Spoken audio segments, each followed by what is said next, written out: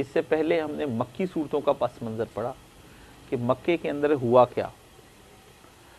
मक्के का हाल जो है और इस वक्त जो मुस्लिम दुनिया का हाल है, ये दो अलग अलग नहीं, एक से ही हाल है। जो आज कल हो रहा है, यही मक्के में उस वक्त हो रहा था। यही कुछ। यही जाहलीत थी। इसी तरह ही चंद लोग थे जो इस्लाम के बारे में सोचते थे, फ़िक्रमंद थे कुड़ते थे अंदर ही अंदर, और बाकी माशरा सारा जाहिल था।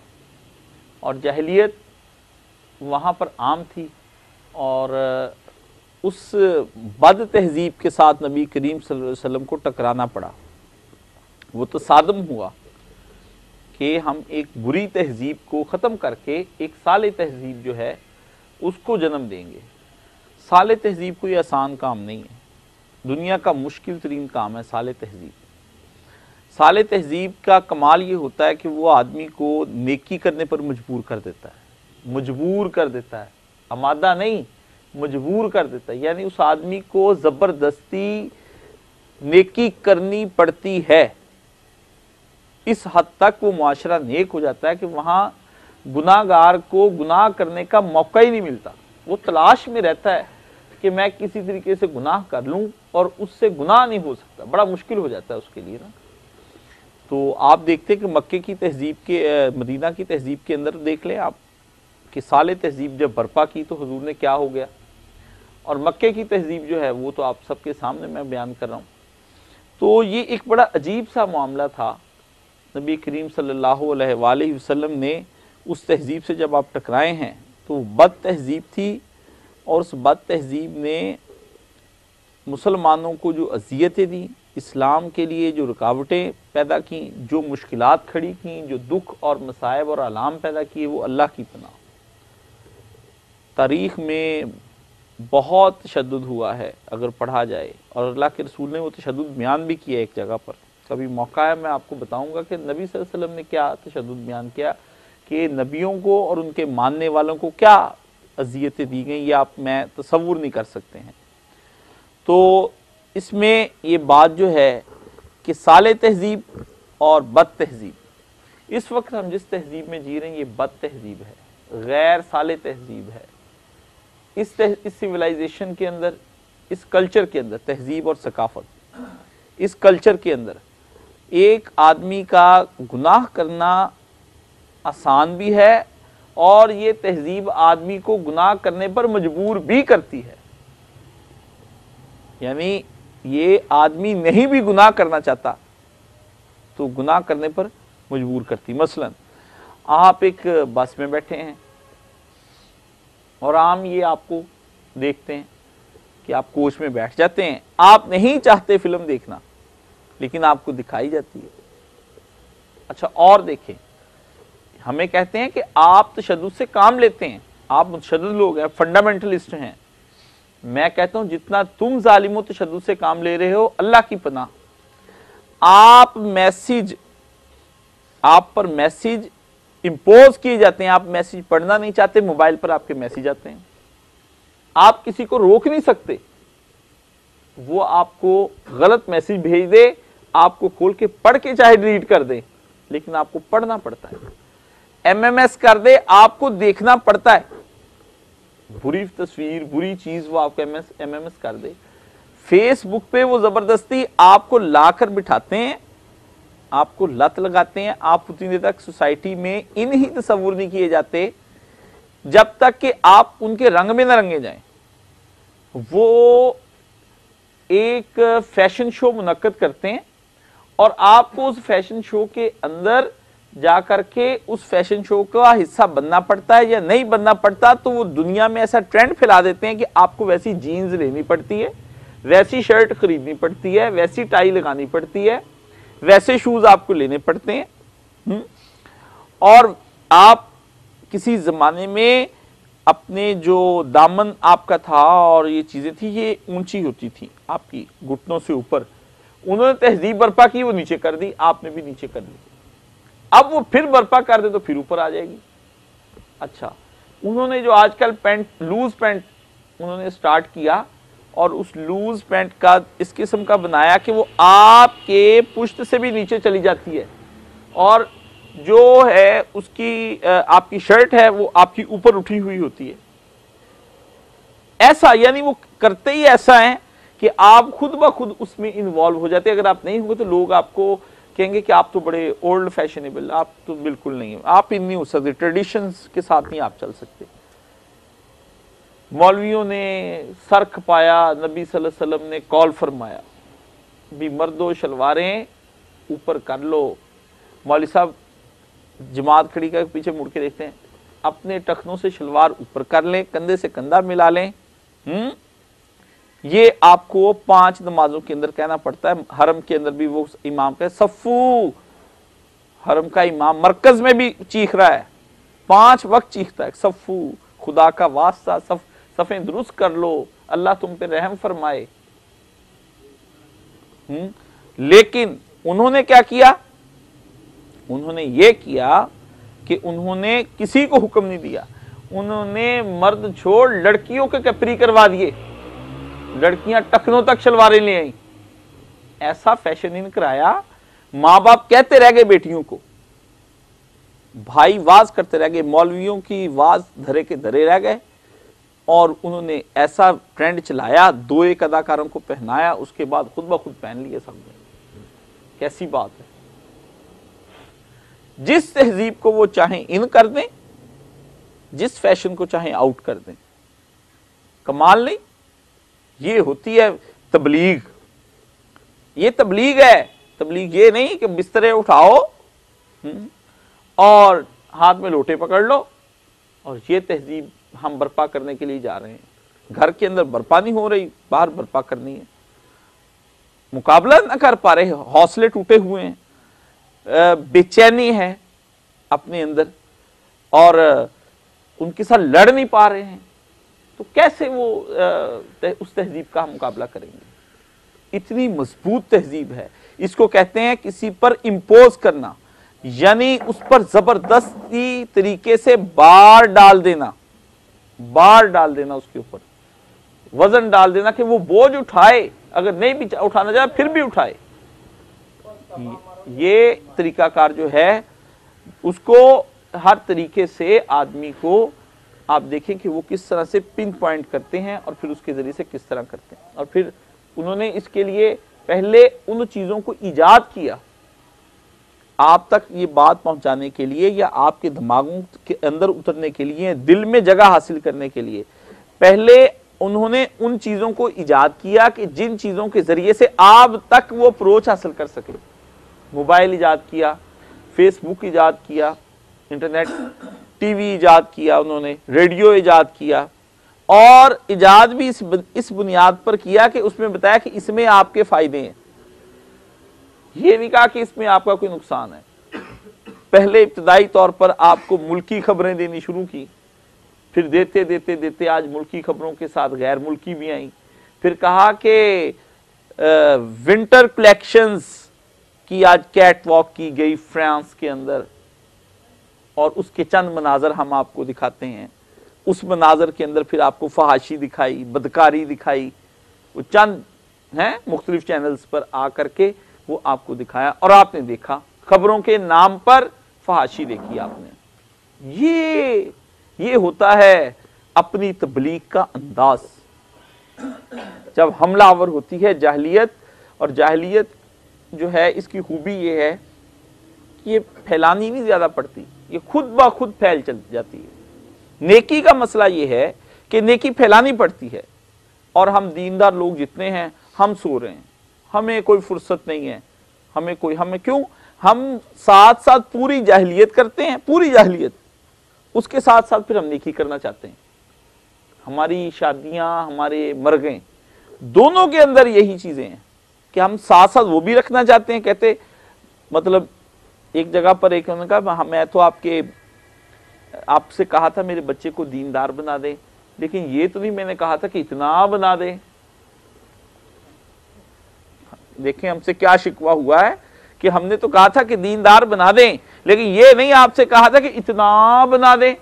अब वो कहता है कि शादियों पे भी ठीक नहीं रसूमात हो रही मैं अपनी शादी पे नहीं करूँगा। आप देखें ना दुनिया भी रखनी पड़ती है दीन भी रखना पड़ता है तो आप क्या कर रहे हैं? आप देखें ना प्लीज़ काइंडली आप बच्चे को समझाएँ। मैंने कहा, आप अबू, अम्मी क्यों नहीं समझते? बच्चे को तो मैं समझाऊँगा आप भी तो कुछ सोच, थोड़ा समझे ना। ये होता है तबलीग का अंदाज।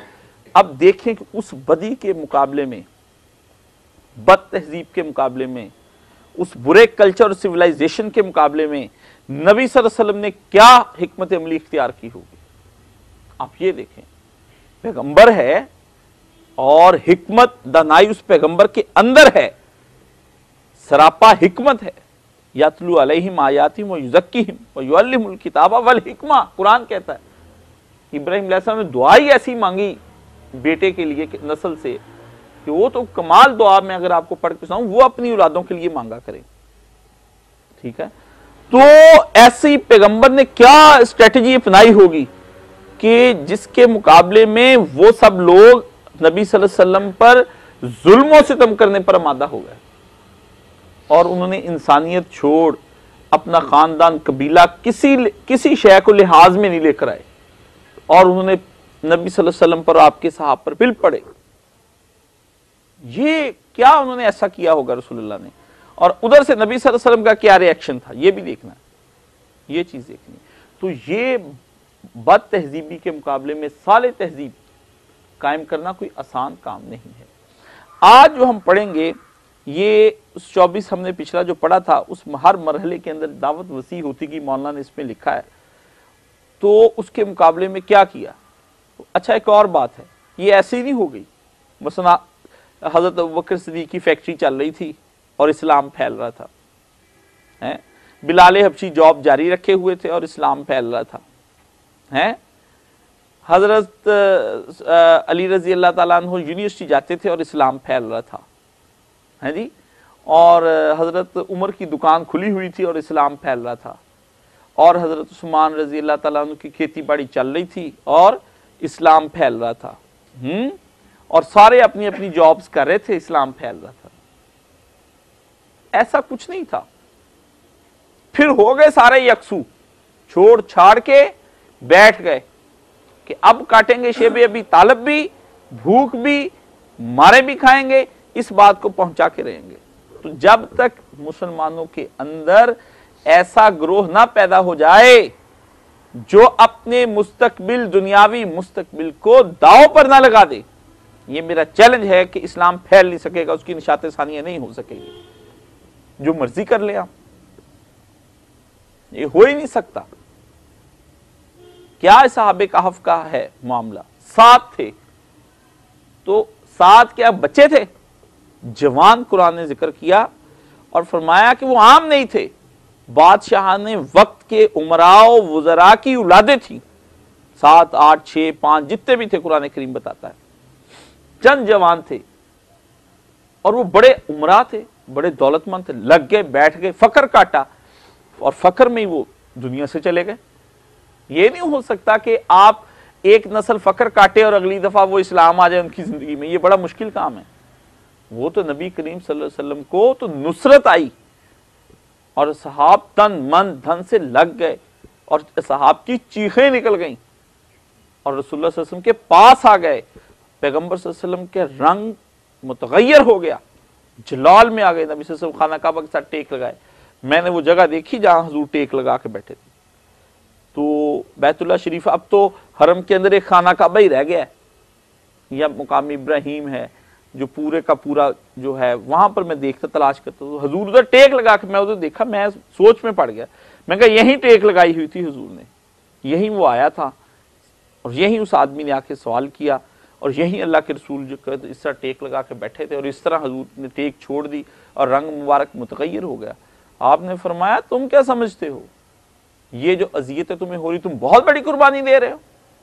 जरा आज उन कुर्बानियों का हम सोचें तो जान निकल जाती है। अब हजूर उसको क्या फरमा रहे हैं?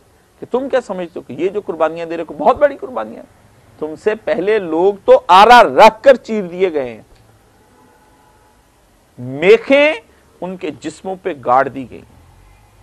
दीवार के अंदर मेखें पूरा जिस्म, एक मेख नहीं, छोटी सी, तीन इंच की नहीं। इधर से गाड़ी पूरा सीना, ये सर मेखों का गाड़ दिया गया।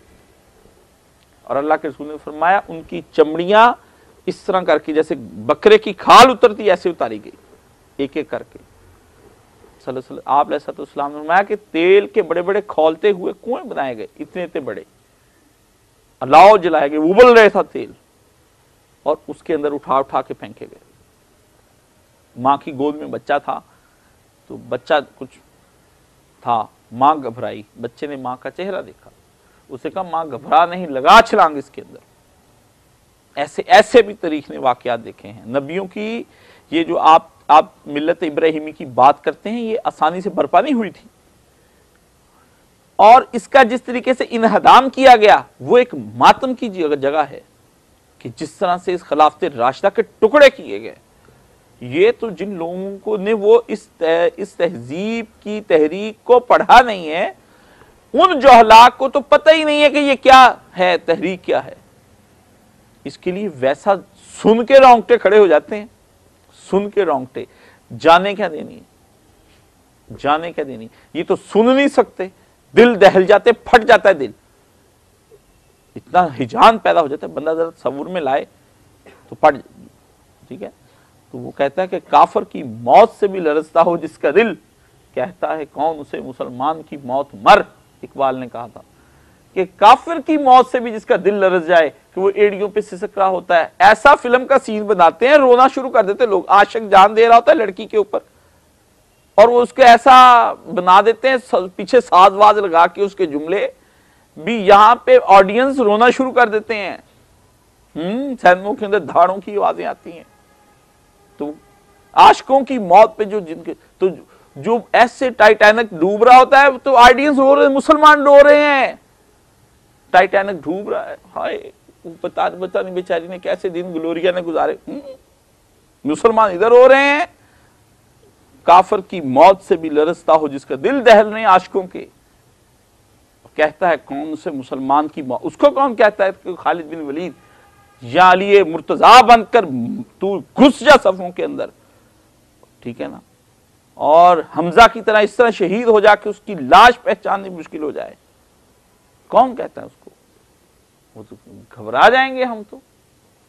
ये इस्लाम को मामूली नहीं मक्के का दौर गुजरा। जो मैंने आपको मक्की सूरतों का पास मंजर पढ़ाया, वो सूरतें ही ऐसी थी कि आग लग गई। मुसलमानों ने ये जुल्मों सितम बर्दाश्त किए। शेबी अबी तालब को सोशल बाइकाट को एक्सेप्ट किया और मुदाहनत नहीं की, सुस्ती से काम नहीं लिया। ये नहीं हाथ पे हाथ मान जाए ना, मान जाए, क्या फ़ायदा उनके साथ थोड़ा सा लड़ने से, हिकमत से काम ले।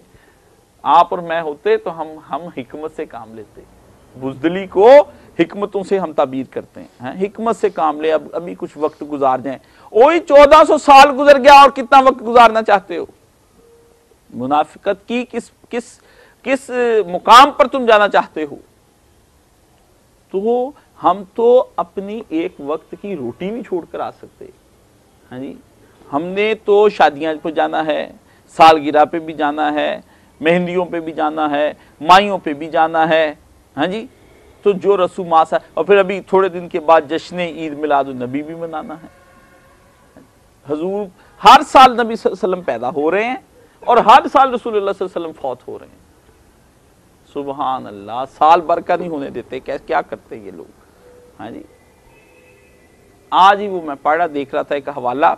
बिफतावा रिजविया में एक जगह पर लिखा कि आठ को हजूर पैदा हुए और बारह को हजूर फौत हो गए। हम्म? उसकी कालबन को छब्बीसवीं जिल थी उसके अंदर। तो ये सूरत हाल हमारी जब चल निकले तो फिर हम क्या बातें करें? मुसलमानों के पास तो अब यौम विलादत रह गया है या यौम शहादत रह गया है। और कोई मुसलमानों के पास टाइम ही नहीं है। या 25 दिसंबर है, या 11 सितंबर है, या 9 नवंबर है, या इक्कीस अप्रैल है हुँ? हम्म? और कुछ नहीं रह गया। या हजूर की वफात है हम्म? आठ की पैदाइश, या बारह की पैदाइश, बस। तो ये चीज़ें जब सरवाइव करेंगी, बस यही नाम रह गई तो ना, जब नाम ही रह गया है तो फिर किस तरह से हम सरवाइव करेंगे? कैसे हम चलेंगे? कैसे हम बढ़ेंगे? हमारे पास तो टाइम ही नहीं है। तो ये चीज़ें कुछ सोचने की हैं कि मक्की सूरतें मामूली चीज़ नहीं है भाई। आपके जहन में होगा कि मक्की सूरतें कोई सूरत हाल रखती होंगी। मक्की सूरतें कुछ नहीं। मक्की सूरतें तो आदमी को मुर्दा आदमी के अंदर जान डाल देती हैं। ये कोई और पढ़ने से पता चलता है क्या क्या? अब चूँकि पढ़ते नहीं है, इसलिए कई लोग हमसे सवाल करते हैं कि अल्लाह गफूर रहीम। मैंने कहा, मैं तो मैंने मैं कौन सा इनकार कर रहा हूँ इस अल्लाह गफूर रहीम का? लेकिन वो अल्लाह मियाँ जो मुझे इस सूरतों के आखिर में, तीसवें पारी में नज़र आता है, उसकी गफूर रहीम का जुनते काम और अज़ीज़ नज़र आ रहा है, कादर मुतलिक नज़र आ रहा है, कायनात को ऊपर नीचे से हटाकर इस तरह तबाह करके बर्बाद उसको बंदे नहीं नज़र आते कि मेरे बंदे उस क्यामत के नज़दीक कितने होंगे जो सारे मारे जाएँगे। तो हजूर ने फरमाया, इस तरह तो हो रहा होगा कि सौदा जो है वो खरीद लिया होगा, पैसे दे रहा होगा, दूसरा पकड़ रहा होगा। जानवर को पानी पिलाने के लिए ला रहा होगा, जानवर पी रहा होगा, वो आगे रख रहा होगा। हम्म? आदमी खाना स्टार्ट कर रहा होगा लुकमा मुँह तक जा रहा होगा। यानी ये सारे प्रोसीजर चल रहे होंगे नॉर्मल लाइफ गुजर रही होगी लोगों की, जब क्यामत बर्पा हो जाएगी। जब क्यामत बर्पा हो जाएगी। और वो कहा क्यों कहा कि अचानक आएगी पकड़? इजा वाकतुल वाकया। कुरान में तक फिर हो गया वो वाकया जिसका इंतज़ार था। ये फिर ये सूर्य वाकया पढ़े ना वो एक साहब मुझे पूछते हैं जी वो आप सूरह वाकया रात को पढ़े तो फाका नहीं होता? मैंने कहा फाका हो, हो ना हो बंदे को अफाका ज़रूर हो जाता है गुनाहों से। हम्म मुझे नहीं फाके का पता क्यों? हदीस ही सही। तो आप उसका फाका हो ना हो अफाका पूरा होता है अगर पढ़ ले उसको अपने दिल में जमा ले। तो अजीज़ो मक्के की सूरतों को पढ़ते वक्त आपके जहन में होना चाहिए कि मैं कुर्बानियों के लिए तैयार हूँ या नहीं। अगर नहीं तो फिर आपका पढ़ना कोई पढ़ना माने नहीं रखता, कोई फ़ायदा नहीं उसका है। आज हम पढ़ेंगे मदनी सूरतों का पस मंजर। का मक्के में इस तहरीक को अपना काम करते हुए तेरह साल गुजर चुके थे कि यका यक मदीने में उसको कैसा मरकज बहम पहुँच गया, जहाँ उसके लिए मुमकिन हो गया कि अरब के तमाम हिस्सों से अपने पैरों को समेट कर एक जगह अपनी ताकत मुश्तम कर ले। अल्लाह ने अनायत की। मक्के का तो दिल ना खुला मदीने का जो दिल है वो खुल गया। और थोड़े से लोगों ने और उनको हजूर ने कोई इतनी लंबी चौड़ी तब, तबलीग भी नहीं की। वो आए हज पे हजूर अलैहि तबलीग फरमाया करते थे। हज को तो हज और तबलीग का जो है ये भी कभी याद करवाएँ ज़िंदगी में मुझे। हज के दिनों में या इससे पहले कि हज का भी तबलीग के साथ में ताल्लुक आपको बयान करूँ कि क्या होता है उसके अंदर ना, कैसे नगोसिएशन की जाती तो उधर आप सलाम से उन्होंने बायत की और उनका अल्लाह के रसूल, छोड़िए, ये इतना अच्छा शहर आप इसमें क्या कर रहे हैं? आपको जहाँ, उनको तो पता ही नहीं आप क्या हैं। चलिए हमारे साथ, वो हजूर को ले गए। ये बाजुकात किसी आलिम के साथ भी हो जाता है कि उसको लोगों को उसकी कदर नहीं होती। वो ऐसा होता है, बंदा वो कहता, छोड़े जी मौली साहब, आपने सारी ज़िंदगी इस गाँव के अंदर लगा दी। इनको तो कोई अकल नहीं आई। आप हमारे साथ चले, हम आपको जो है ना, वहाँ पर बैठाएँगे और इन तो ये कोई ऐसी हिजरत अगर कोई आलिम कर देता है इस तरह से तो उसके लिए कोई गलत बात नहीं है। देखना चाहिए कि कहाँ मुझे फिजिबल है तो वहाँ चले जाना चाहिए। तो कहा कि अल्लाह के रसूल वहाँ चले गए और आपने फिर पूरे अरब में मुनादी करा दी कि पहुंचो। उस मरकज पर पहुंचो जिस मरकज में हम बैठे हैं। तो फिर आए लोग वहाँ पर। चुनाचे नबी करीम सल्लल्लाहु अलैहि वसल्लम और बेशतर मुतबीन इस्लाम हिजरत करके मदीने पहुँच गए। दास्तान हिजरत भी अल्लाह पना दे। बड़ा मुश्किल है भाई। आज ही मैं आप सबसे कहूँ ना कि यहीं से हम अफ़गानिस्तान चले जाएँगे। घर नहीं जाना किसी ने। तो आ देखेंगे काश साहब का दिमाग ख़राब हो चुका है। ठीक है ना? इनको क्या पता? कितने मसाइल हैं? हैं जी? इनका तो ना कोई काम है, ना कोई गल, ना कोई बात। इनको क्या पता कि दीन क्या होता है? भला ऐसे भी हजूर ने किया? है जी? जनाब, हजूर ने ऐसे ही किया। निकलो अल्लाह की राह में। चलो हम चलते हैं यहाँ से। नहीं रहना हमें उस मुल्क के अंदर, नहीं रहना हमें उस शहर के अंदर, नहीं रहना उस धरती के ऊपर, नहीं रहना हमें उस इलाके के अंदर। कि जिस इलाके में खुदा और उसके रसूल का निज़ाम नाफिज नहीं हो सकता पाकिस्तान की हिजरत को मामूली हिजरत नहीं है। मैं कहता हूँ, हमारे बड़े जो थे, वो हमसे ज़्यादा नेक और ईमानदार थे। अनपढ़ ज़रूर थे, उनके पास फेसबुक नहीं थी, मोबाइल नहीं था, इंटरकॉम नहीं था हम्म कंप्यूटर नहीं था। लेकिन जज्बे थे। हिंदुस्तान में भरे पूरे घर छोड़कर आए हैं। कौन छोड़ता है? बच्चों को छोड़ आई माए।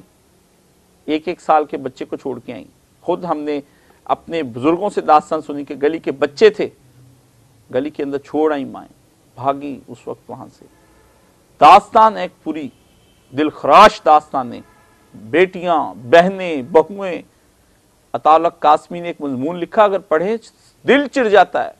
सन सत्तर में हम गए अस्सी में तो हमने वो एक कुआँ देखा जो बंद इसलिए कर दिया गया था कि मुसलमान लड़कियाँ छलांग लगा लगा के जाने देकर बस हो गई।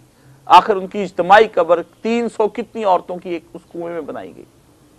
और वहाँ वो भाई जाके उस गाँव के रोकर दुआएँ करके आए, जिन भाइयों की बहनें रह गई थी हिंदुस्तान में। ये सूरत हाल वहाँ पर हुई। ऐसे भी हमारे पास जुमा पढ़ने के लिए लोग आते हैं, उन्होंने मुझे बताया कि मेरी वालदा वही रह गई। उन्होंने मुझे कहा, तुम निकलो। तुम निकलो बहनों को लेकर, मैं आऊँगी पीछे। कहता, आज तक नहीं आई। मेरा एक दोस्त था, उसके उसके वालिद इसी बिना पर आखिरी वक्त में रोते रोते मर गए कि मेरे वालिद साहब मजदूर थे। उन्होंने कहा, बहनों और माँ को लेकर चले जाओ, इज्जतें महफूज करो। मैं मजदूर हूँ, मुझे कहाँ तक उठाए फिरोगे? कहता, मैं अपने वालिद को बहुत काल चाह साथ चले, लेकिन वो नहीं चले। तो अब्बा जी ने कहा, यही छोड़ जाओ मुझे हिजरत के रास्ते में। हिजरत के रास्ते में बाप को छोड़ आया। कहता, पता नहीं कि अब्बा जी के साथ क्या बनी। तो हिजरत हिजरत के बारे में आप पूछते हैं ये लोग? कि नबी ने हिजरत कैसे की होगी? हजूर की बेटियाँ रह गई थी वहाँ पर, मक्का के अंदर। जैनब सबसे बड़ी थी। छोड़ आए हजूर जैनब को। जैनब बाद में आई है। जैनब के शौहर कैदी होकर आए हैं। ठीक है? बदर में। और नबी सल्लल्लाहु अलैहि वसल्लम ने, उन्होंने अपने शौहर के फिदिये में अपना हार बेचा। नबी सल्लल्लाहु अलैहि वसल्लम के पास भेज दिया कि आप ये पैसे ले लें। बाप को हार नबी है। सोचें जरा। नबी के पास नबी की बेटी का हार आता है। नबी को अपने दिमाग को हजूर ने को ये नहीं कहा मेरा आ, मेरा जवाई जरा छाट दो। नहीं। कहा इसको तो रखो ना इधर। उसने भेजा हजूर को हार। फिर ये में ले लीजिए शोहर को छोड़ दीजिए। हजूर ने हार देखा था सईदा खदीजा रज़ी अल्लाह तला का था। पैगंबर की चीखें निकल गई देख करके। हाय उसका हार आया जिसने अपना सब कुछ इस्लाम के लिए लुटाया। आज उसका हार आया। हुँ? तो ऐसे नबी को अल्लाह ने कहा तू नबी तू सामने होगा, बेटी तेरी होगी। अब तुझसे प्यार करने वाला होगा। हार भी तेरे पास आएगा। बीवी तेरी का तूने जहेज में दिया था। आज फिदिया बंद। कहाँ जहेज दे रहा है? कहाँ नबी का इजमाइश नहीं कि आज फिदिये में हार आ रहे हैं? और पैगंबर का दिल उस वक्त सोचिए कि इंसानियत के आला तरीन मुकाम पर, नरम नरम तरीन मुकाम पर पैगंबर खड़े हैं कि जिसकी रऊफुल रहीम कुरान ने कस्में खाई हैं। कि वो तो पैगंबर है। अल्लाह ने कहा, छोड़ो रऊफ रहीम। मेरी सिफत है रऊफ और रहीम। नरमी की। उस दर्जे पे खड़ा पैगंबर, हार उसकी। ये आजमाइशें अल्लाह ले लेता है। ठीक है ना? ये ये कितनी बड़ी आजमाइशें हैं। इसलिए मक्का, कोई मामूली मदीना भी फिर पैगंबर के लिए कोई छोटी जगह नहीं, जिस जहाँ पैगंबर पहुँच गए। फरमाया, इसी तरह ये दावत तीसरे मरहले में दाखिल हुई। इस मरहले में हालात का नक्शा बिल्कुल बदल गया। उम्मत मुसलिमा एक बाकायदा रियासत की बिना डालने में कामयाब हो गई। पुरानी जाहलीत के अलम बरदार से, बरदारों से मुसल्ला मुकाबला शुरू हुआ। जीने नहीं दिया उन्होंने, कहा आ रहे हैं? इधर का इधर भी मरकज को ना छोड़ेंगे। पिछले अंबिया की उम्मतों, यानी यहूदो, नसारा से भी सबका पेश आया। वो भी अपने गरूर में कि हम थे, ये कहाँ से आ गए? खुदा के लाडले। नाहन हम बेटे हैं अल्लाह के। वो भी आ गए धड़के में। खुद उम्मत मुसलिमा के अंदर अंदरूनी निज़ाम में मुख्तलिफ़ किस्म के मुनाफिक भी घुसाए और उनसे भी निमटना पड़ा। हाय, पैगंबर को कैसा सबका पड़ा है। अपने भी और प्राय भी दोनों ना खुश हैं। ठीक है ना? और मैं जहरे हिला हल को फिर कह ना सका, कान, पैगंबर ने कहा अपने भी खफा मुझसे, बेगाने भी ना खुश कि मैं जहरे हिला हिल को कभी कह ना सका कंद, इकबाल ने कहा। अपने भी नाराज़ पराए भी नाराज़। क्यों? वो मुझे कहते थे कि ये जो जहर मार देने वाला है, इसको तू बर्फ़ी की डली कह दे, मीठा कह दे, शहद कह दे इसको। तो मैंने कहा, मैं कैसे जहर को जहर ना कहूँ? ठीक है ना? ये तो जहर है, पिएँगे तो मर जाएँगे। ये आजमाइश पैगंबर की हुई है। और दस साल की शदीद कश्मकश से गुजर कर आखिरकार ये तहरीक कामयाबी की उस मंजिल पर पहुँची कि सारा अरब उसके जेर नहीं हो गया। और आलमगीर दावत इसलाह के दरवाजे उसके सामने खुल गए। इस मरहले की भी मुख्तलिफ़ मंजिलें थीं। हर मंजिल में इस तहरीक की मुख्तलिफ़ मखसूस ज़रूरतें थीं।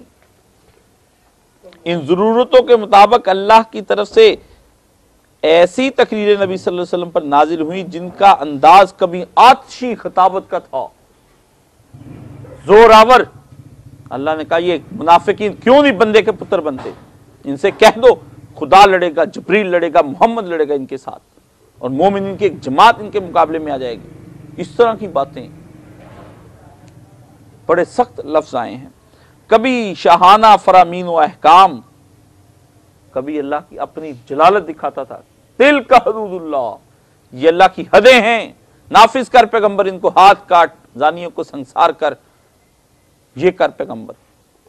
कभी मुअल्लिमाना दरस तालीम का, कभी उस्ताद की तरह, और कभी मुसलिहाना इफ़हाम तफहीम का होता था कि यूँ नहीं मामला, यूँ है।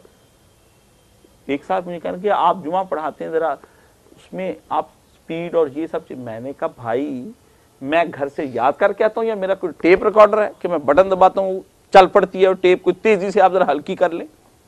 हम्म? ऐसा जुमा जो आपने स्लो स्लो पढ़ना है उसके लिए और बड़े मुकाम हैं। वहाँ तशरीफ़ ले जाएँ मेरी स्पीड ना कम करें अपनी तेज करें। ठीक है ना? मुझे कह रहे हैं जो तेज़ी से भागा जा रहा है गोल अचीव कर उसका इधर आहिस्ता चलो मुझसे नहीं चला जा रहा भाई उसको तो जाने दो जो जा रहा है, है? और कहते हैं कि इनमें बताया गया कि जमात और रियासत और मदनीत सालिहा की तमीर किस तरह की जाए? ज़िंदगी के मुख्तलिफ़ शोबों को किन असूलों, जवाबित पर कायम किया जाए?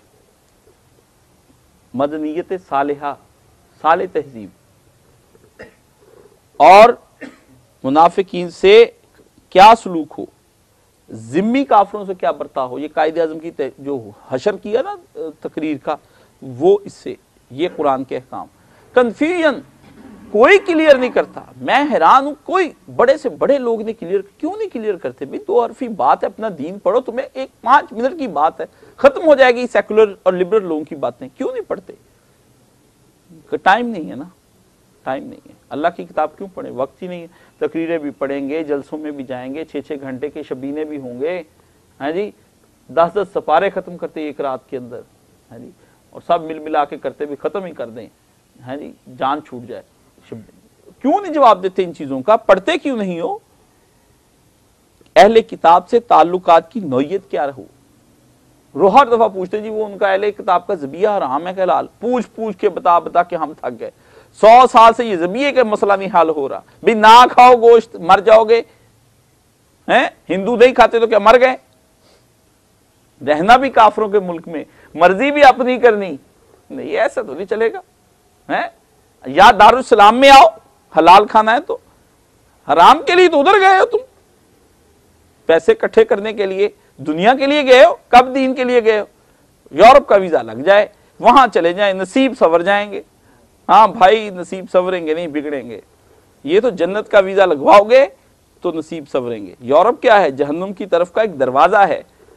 अल्लाह ताला ने रख दिया है मगरब में कि इधर का एक दरवाज़ा जाता है, इसमें चले जाओ, सारे इधर से डायरेक्ट ही पहुँच जाओगे। कुछ टाइम नहीं लगेगा तुमको। ठीक है ना? ना बरसरे जंग, दुश्मनों, यानी जो सामने आया दुश्मन, उसके साथ क्या बर्ताव होना चाहिए? और ये एक और लफज मुआहिद कौमों के साथ क्या तर्ज अमल इख्तियार किया ये पाकिस्तानी हुकूमत को अकल करनी चाहिए। कश्मीर का जिहाद शुरू कर रखा है। मुआहिद, जिनके साथ आपका मुआहिदा हुआ, छोटा सा भी हुआ हो, समझौता एक्सप्रेस ही फ़र्ज़ करें आप चला रहे हैं। उनके साथ पैगंबर क्या फरमाते हैं कि क्या करना चाहिए? कुरान ने बकायदा सूरह इनफाल, तौबा के अंदर बातें हुई, बहसें हुई। उनके मुआहिदे उनके मुँह पर दे मारो, फिर उनसे जंग का ऐलान कर दो, फिर उनको टाइम दो, फिर वो लड़ने के लिए मार, फिर तुम वक्त देकर फिर उन पर हमलावर हो, तुम पर हमलावर हो जाए। फिर देखो खुदा की मर्ज़ी, डोल किस तरफ़ रहता है, इस तरफ़ रहता है या उस तरफ़ रहता है। आप इधर से पाक वफाज के माहदे हो रहे हैं, इधर से आलू आ रहे हैं, इधर से टमाटर जा रहे हैं। हाँ जी? उधर से काली मिर्च आ रही है, यहाँ से नमक जा रहा है। उधर से दारंदाजी हो रही है। है जी? क्या हो रहा है? मुसलमानों, लड़ना है तो बुजदिलों की तरफ़ मुसलमान सीने की जानब से वार करता है। पीठ पीछे दिख खंजर खोपता। ये इस, ये आप आप देखेंगे इन सूरतों के अंदर कि आप कहाँ कहाँ मारे जा रहे हैं। मैंने नहीं आपको बताना, आपको पता चलेगा हम कहाँ मारे जा रहे हैं। आपको हर तहरीक खुद ब खुद निखर कर सामने आ जाएगी। मेरे तबसरे की ज़रूरत नहीं होगी। आपको खुद पता चलेगा हो इसका मतलब ये तहजीब तो ये तहरीक तो कुरान की साइज़ से टकरा रही है, ये तो उससे टकरा रही है, ये फिरका तो उससे टकरा रहा है, ये तो उससे, सब पता चल जाएगा। क्यों? इसीलिए तो वो कहते हैं कि कुरान पढ़ने के लिए, बेटा, चौदह इलम चाहिए, सारे मक्कारी के इलम सीखो, ठीक है ना? अयारी के सीखो, लड़ने के सीखो, फिर उसके बाद इस तरफ़ आओ। पैगंबर ने पहले इलम नहीं सिखाए हैं। अपने अपने आलिम का तर्जमा उठाओ, शिया, सुन्नी, देवबंदी, अहले हदीस, वहाबी, किसी का आलिम किसी को धोखा नहीं देगा। मुस्तन तर्जमे हैं। ऐसे बहाने बनाए हुए हैं। किसका तर्जमा लें? भी जिस पे एतमाद है उसका लो। कौन कहता है जना, शराब, जुआ, बेईमानी, चोरी, शिरक, बिदत? कौन कहता है हलाल है? ये कुरान बता देगा तुम्हें। मुसीबत इस तरफ़ तो आने देते नहीं इस बेचारे की तरफ़। इसको तो आँखों से लगाने के लिए हमने रखा हुआ है। और मुनज़म अहले ईमान का ये ग्रोथ दुनिया में खुदावंद आलम की खिलाफत के फ़राइज़ अंजाम देने के लिए अपने आप को किस तरह तैयार करे? इन तकरीरों में एक तरफ़ मुसलमानों की तरबियत की जाती थी, अल्लाह ताला जो आयतें उतारता था, फिर उनकी कमजोरियों पर तंबीह भी की जाती थी। यही नहीं कि मैं दर्श दे दूँ कि आपको फारग हो गया, आप जनाब इधर से जो मर्ज़ी का ऐसे वैसे खाया, बाद में उल्टे सीधे सवाल किए, वो भाग गए। टोकते भी थे, अल्लाह के पैगंबर भी टोक रहे हैं। खुदा भी टोक रहा है, खुदा पैगंबर को भी टोक रहा है। ये देखें, कुरान ऐसी किताब है, नज़र आएगा, पैगंबर, अफा अल्लाह। अल्लाह तुझे माफ़ करे, तूने क्यों इजाज़त दी उनको? बात का आगाज़ कहाँ से किया? हुँ? हम्म? बड़ी जगह पे पैगंबर से कहा गया कि आपने ये काम नहीं करना चाहिए था आपको। ये ठीक नहीं था। तो वहाँ पैगंबर को टोका जा रहा है, आप मैं क्या है? जो मौलवी टोका ना करें आप, वाल वल्लाही, अगर हम टोकेंगे नहीं तो तुम सही कैसे हो गए? टोकना तो ज़रूरी है, बच्चा गलत करेगा माँ बाप रोकेंगे नहीं। बेटी बेपर्दा होकर बाज़ार जा रही माँ बाप रोकेंगे नहीं। औलाद नाफरमान हो रही माँ बाप रोकेंगे नहीं। हुँ? हम्म? चोरों ने ढाके डालने शुरू कर दिए हैं, पुलिस पकड़ेगी नहीं। सरहदों पर गोलाबारी हो रही, फौज मुजाहमत नहीं करेगी। तो उलमा भी नजरियाती फौज हैं, ये मुजाहमत नहीं करते हैं। ये आते हैं, बैठते हैं, हाथ इधर से चूम, इधर से चूम, कुछ जेब में पैसे, कुछ घर पहुँचा दें, बाकी उधर से भी आ रहा है, इधर से गाड़ी में तेल डलवा दे, अल्लाह अल्लाह, खैर सल्ला। जाते वक्त सबको नवीज सुना जाएँगे कि गुनागारो, ना घबराओ, शफात उनके घर की है, जो मर्ज़ी करो। ऐसा कैसे हो सकता है? ये कैसा पैगंबर है, जिसको पैगंबर को टोका जा रहा है? वह उम्मतियों की खैर कहाँ पर होगी? ये ये चीज़ें इस कुरान शरीफ के अंदर है। और उनको राह खुदा में जान और माल से जिहाद करने पर उबारा जाता था। सबसे मुश्किल काम है। चमड़ी जाए, मगर दमड़ी ना जाए। पैसे नहीं दिए जाते। और उसके बाद फिर कहते जान भी माँगता है। या अल्लाह तू माल ले ले, जान तो छोड़ दे। अल्लाह ने कहा, ना, माल लेने के बाद अभी जान भी लेंगे हम। खुद, कहीं का खुदकुशी हराम। कहीं का रास्ते में जहाँ हम कहते वहाँ जाके दे ठीक है ना? जो हमने असल कसाब खाना बनाया हुआ है मक्तलगा जो बनाई हुई है, जो बुचरी शॉप है कम देर वहाँ आओ, फिर हम होंगे, तुम होंगे, छुरी की तेज धार होगी, तुम लेटे हुए होगे। हम्म? छुरी चमक रही होगी, एक दफ़ा तो दिल दहल जाएगा क्या टांगे कांपती शुरू हो जाती हैं मौत को देख के। क्या इधर आओ, जिबा किए जाओ। फिर पता चलेगा कि इब्राहिम ने कैसे बेटे की गर्दन पे छुरी रख दी थी। तबीयत सट हो जाएगी। नहीं दी जाती। राहे खुदा में शहीद होने को तो जी चाहता है, मगर सुना है कि वो जालिम जान से मार देते हैं। हुँ? हुँ? जी चाहता है, लेकिन वो कहते हैं, वो तो मार ही देता है पक्का सच्ची मुच्ची। सुबहान अल्लाह। उनको शिकस्त और फतह मुसीबत, राहत, बदहाली, खुशहाली, अमन, खौफ, गर्ज, हर हाल में उसके मुनासिब अखलाकियात का दर्श दिया जाता है। कैफियात हैं जो कौमों पर इज्तमाही तौर पर आती हैं। भूख! पैगंबर के मदीने में भूख! लुटे हुए काफले आ रहे हैं। पैगंबर ऐलान करते हैं, उठे कोई कि इन गरीबों को कुछ खिला दे और कुछ इनके तन पर कपड़े पहना दे। कोई नहीं उठता। जर्द हो गया पैगंबर का रंग।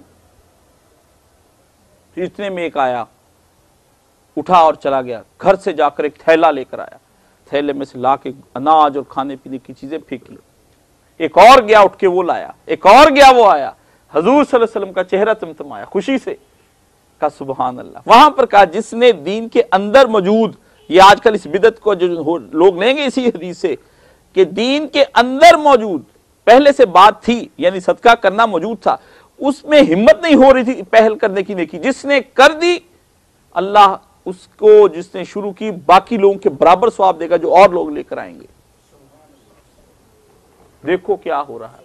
क्यामत तक के लिए उसने, जिसने वो नेकी का आगाज़ किया था, आज जितने भी सदके दे रहे हैं, वो संसारी के खाते में जा रहे हैं। ये होता है। सौदा इस हाथ दे, उस हाथ ले। ये है। और उन्हें इस तरह तैयार किया जाता था कि वो नबी सल्लल्लाहु अलैहि वसल्लम के बाद आपके जानशीन बनकर इस दावत इसलाह के काम को अंजाम दे सकें। दूसरी तरफ़ उन लोगों को जो दायरा ईमान से बाहर थे, अहले किताब, मुनाफिकीन, कुफार, मुशरकिन, सबको उनकी मुख्तलिफ़ हालतों के लिहाज से समझाने, नरमी से दावत देने, सख्ती से मलामत करने कहा सब आप तो डराते ही रहते हैं। तो मैंने कहा, जब आप हटते नहीं तो डराना ही है ना मैंने।